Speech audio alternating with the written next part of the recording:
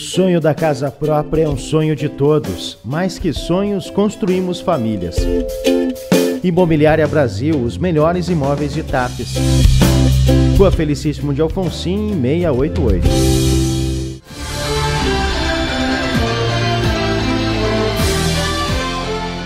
Confira a pauta desta segunda-feira, 2 de abril, na Câmara de Vereadores de Tapes. Projeto de Lei do Legislativo número 002 de 2018, que dispõe acerca da proibição do uso de quaisquer objetos relacionados à queima de fogos de artifício e qualquer objeto semelhante. Ofício de Gabinete número 080 de 2018 do Executivo Municipal, Projeto de Lei número 012 de 2018, também do Poder Executivo Municipal, emenda que elimina o Projeto de Lei número 001 de 2018 do Poder Legislativo.